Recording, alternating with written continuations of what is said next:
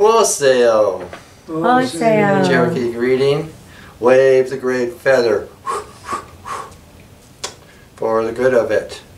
Well, if you were up and about this week during the evening, you would have seen the moon coming up. It was a big, big moon. I don't know, just a few days ago. So that's a main feature this month. This is the month of moon, in particular the name called the sturgeon moon. I'll get, get to that. But I'm going to start out with this moon. It's also the month of the blue moon. In other words, we got two moons this month. So I'm going to start out with this, with the moon, looking up here to the top. here. Uh, what you're looking at here, this is rather rare from Sonora. This is a Yaqui um, moon mass. Mecha Makara is, is called. It's very, it's very, very interesting, very rare, I would say, by this time. But I do have it here to be the moon. Now, the way that it is, you know, function is that when a woman is giving birth and at night, and we'll say in the middle of the night, like around midnight, and that the constellation of the Pleiades is at, you know, its ascent, that it's up at the top, like that. That's when she's wearing this mask. Now the the mask itself has, you know, seven uh, circles or bindis around it for the Pleiades. Interesting, in Yaqui, the name for that Pleiades constellation is Tekoi, which means the vulture.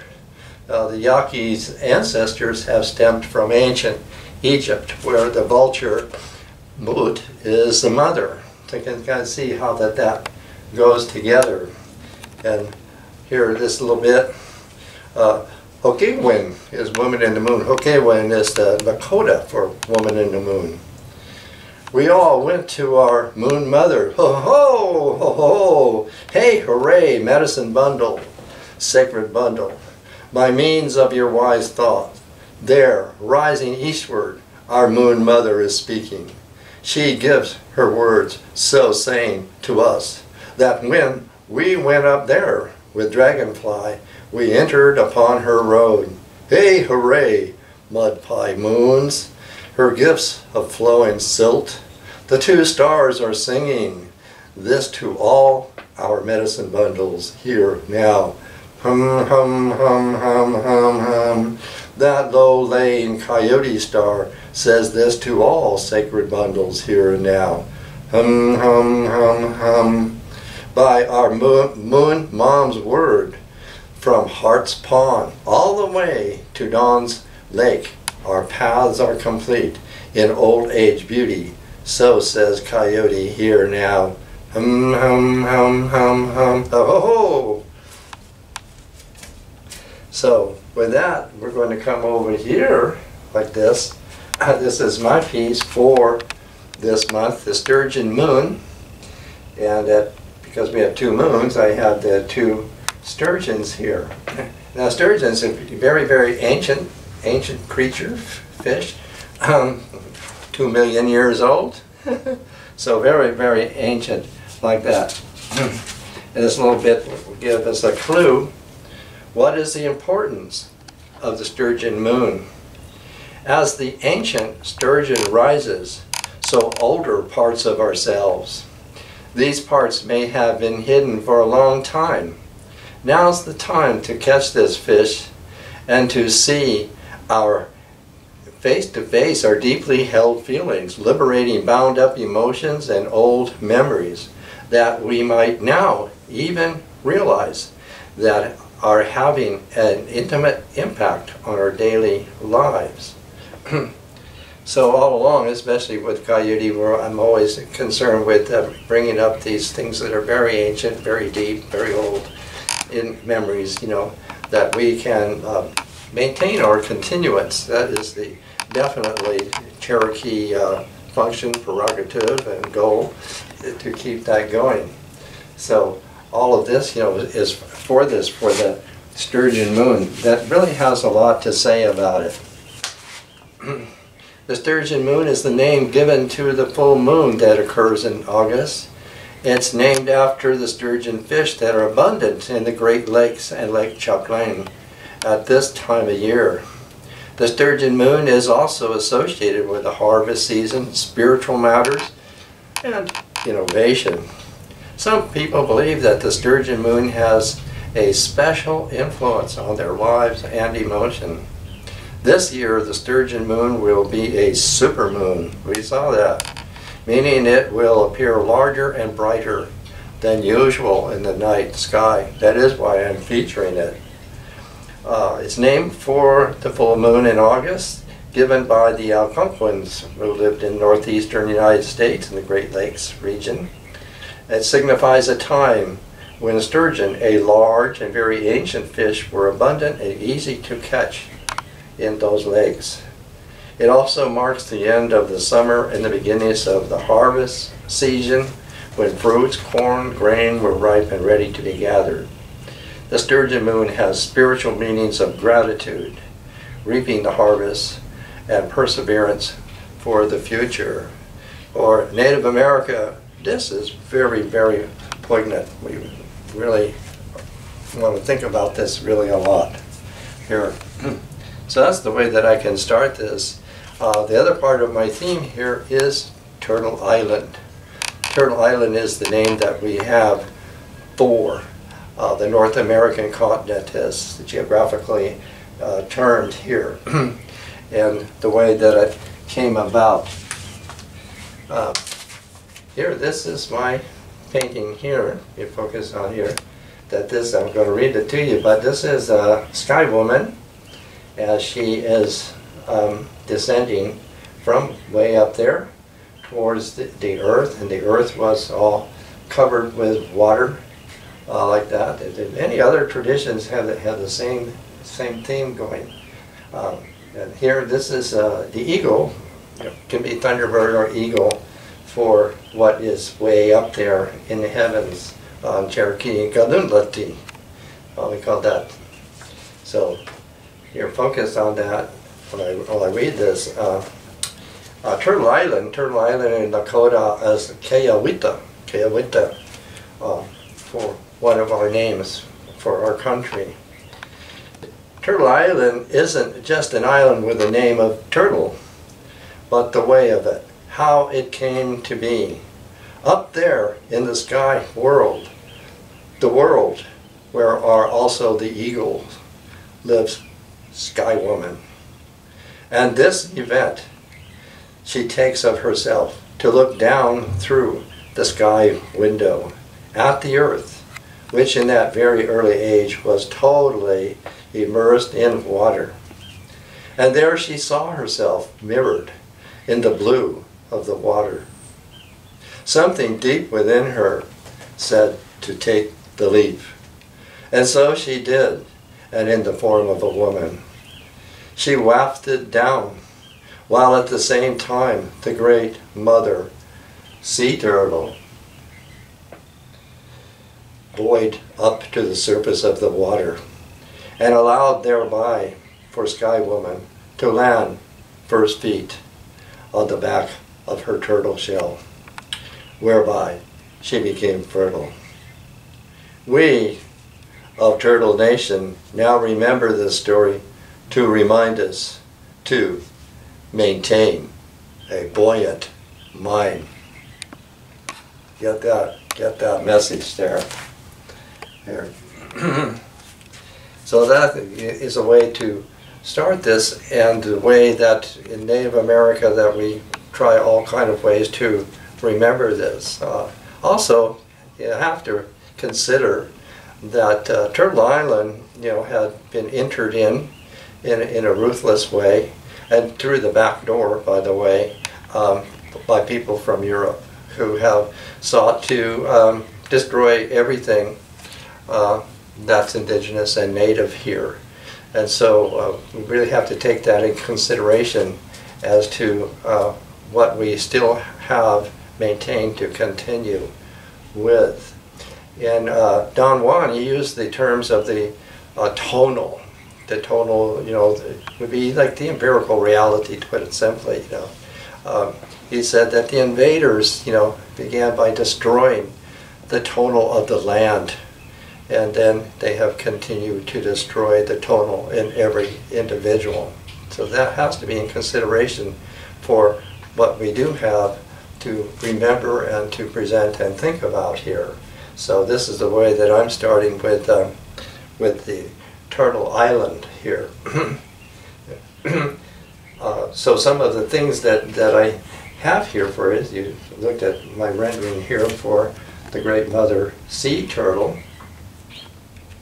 And if we can go up here to this piece, in Cherokee, in Cherokee, this is a Dakshi. Dakshi is the constellation turtle. Dakshi is turtle, but the constellation for the turtle is the belt of Orion, the three stars in Orion, so that we have that uh, celestial uh, image for the turtle to remember by. and also, also down here, you know, I have some some artifacts, you know, for that. You know. Um, here, if we can look at this little one here, uh, this is from out here in Anza Borrego. This has, for thousands and thousands of years, been the habitat of the people we are called the Mudawita or the Kawia here. And it's it was a stone turtle. Looked like it was for making uh, some herbs, you know, grinding stone. That's the way it looks. A wonderful shape like that. And over here, opposite here, this is a ceramic turtle. This is a Navajo. it's been signed by Ella Menigotes over there in Arizona, uh, how the turtle figures.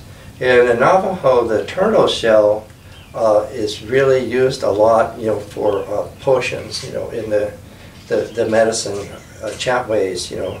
So very much it, it, it is uh, that sort of thing. We can go all the way over here to this is a small turtle shell rattle. I have this here to to say about how that you know the turtle shell, uh, kayaho is the way I'm going to call it, kayaho, uh, like that is figured. Besides using it as a receptacle, um, especially for medicines, uh, the False Face Society, of which I've been initiated into, uh, uses this much larger one. This is a small one for me, uh, like that. So the turtle shell and also uh, uh, in the Cherokee women uh, kind of strap the shells on their legs and do a kind of dance where they you know stomp stomp and really hit hit that that beat with the turtle. So all these ways that we continue to remember. There are turtle plants uh, among uh, certain people and ways to re remember all of these things. When I come over here, if we can look at this, piece here, um, put a flashlight on it. This is my oldest piece here. This is a pipe from over 2,000 years ago from that culture they call Adena Hopewell. and this kind of pipe is called a platform pipe. And um, as far as I know, it's the only style of pipe anywhere in the world of like this. I have several of them. They're very rare because they're usually broken.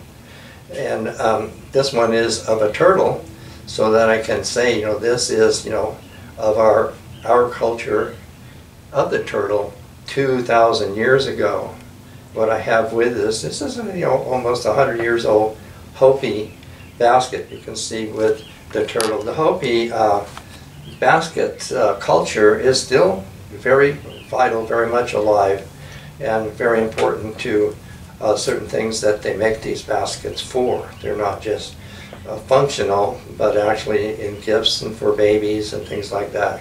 So we can put those two things together.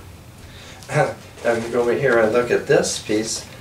Uh, this is from India. This is bronze or, or brass. Now in India, the, the turtle is very celebrated, very, very old. Um, I'm going to say very well regarded. There are many omelets made of the turtle of all kinds. I've had them.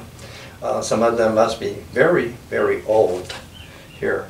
So how the way the turtle in India is called kurma and is originally, you know, feminine, you a feminine principle, uh, and I think also in Native America uh, that he is she, a feminine principle, uh, and very, very ancient in India. in fact, let me go over here to this piece here. this is a ceramic turtle. this is, uh, I would say, a votive turtle. It has uh, like a gold leaf applied to it. the shrine or temple for this is Srikurmam. It's on the coast of uh, Andhra Pradesh near Bashkapatan. And um, the original temple uh, is 2,000 years old. So accompanied with my 2,000 year old pipe here.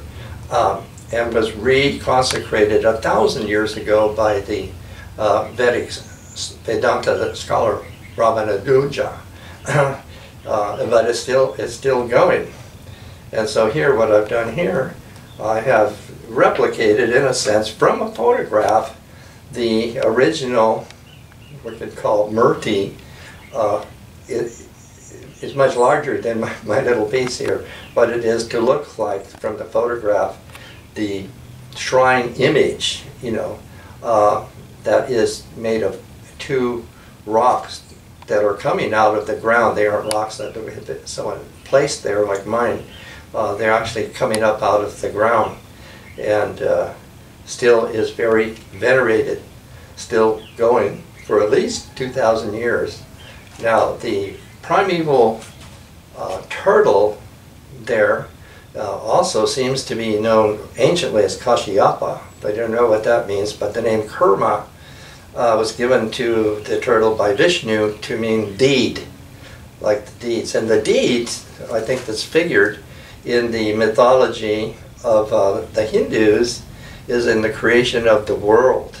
and in the creation of the world, Vishnu, as the tortoise Kurma, took the part of the fulcrum upon which a mountain was mounted and the deities, you know, round a big snake around the mountain, you know, as this kind of spindle, and they pulled back and forth and back and forth and made a turning.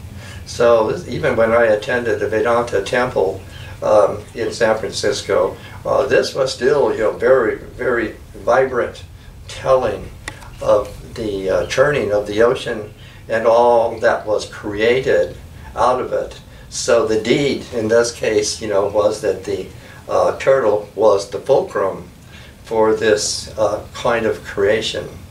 Uh, in other other stories, like the one I just said, of how uh, Sky Woman, you know, came down uh, from the sky, and and the turtle came up, and, and, and they got together and create created the earth. So basically, the turtle is you know a womb, a beginning.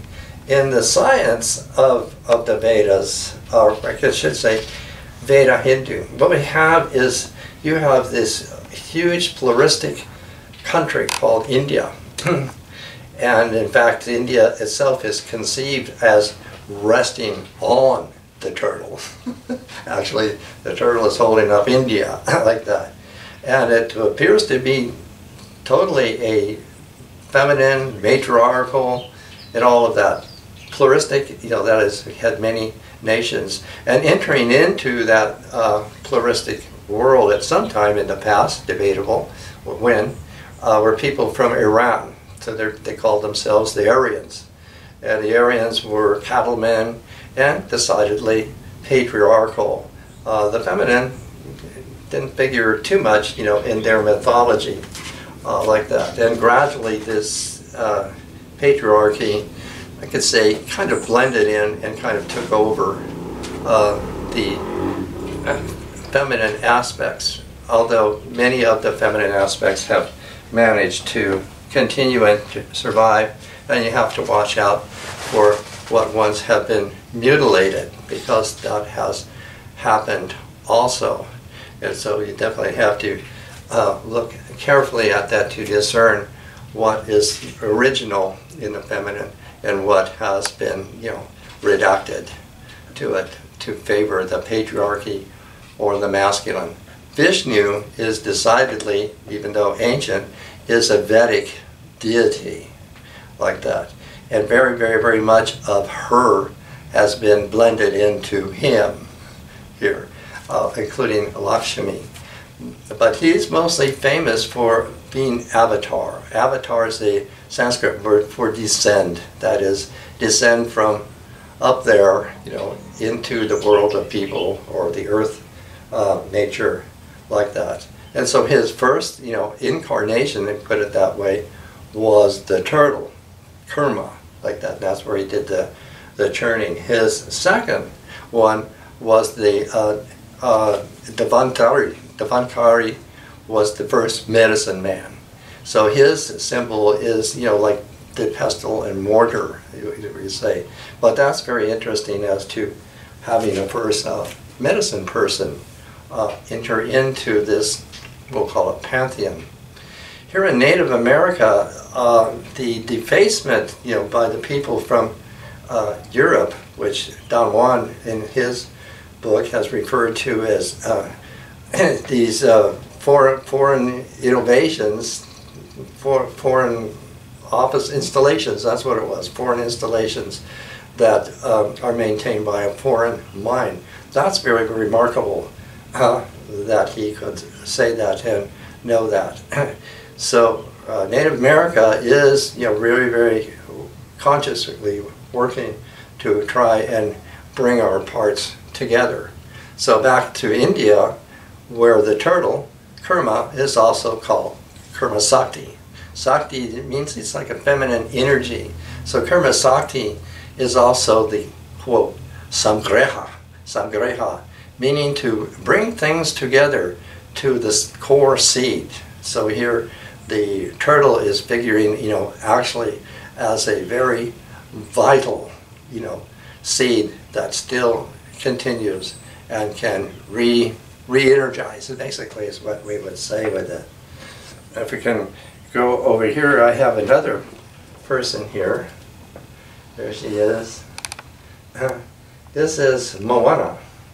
You know, you all seen the movie production of Moana. Moana means ocean, or Moana Nui is the um, great ocean. And here, uh, through the Polynesian uh, culture, she and the turtle, Honu, have still maintained a relationship that is very ancient and, and is the original relationship. And I can keep focusing on that, let me do a little Moana piece here. I had my picture taken with her when I was in Hawaii. E ka Moana nui, ka i e lana mau ale. O thou great ocean, thou deep seas, might your waves flow buoyantly. E ka makani nui i kaika, e pa kolo nahe, male oe. O thou great wind blowing, breathe softly and quietly. O kawahini, ia wai olola. O thou woman of the broad waters, my ho'opa, let nothing bar your way. Amana, Yoa, Noah, Hello. So that, you come back here and, and uh, to recall this, I might, you know, continue some of this, you know, next time or another time. Uh, it's very abundant and it's uh, really, really very important. I really don't know, even though there are turtle clans in some of the First Nations, I don't know how much of the knowledge that here I have uh, recalled from India, or India that very much is, still is, whether India and Native America have had an actual relationship, I think maybe. I see enough in both cultures to see that something uh, exchanged here. I think, I think that we are here.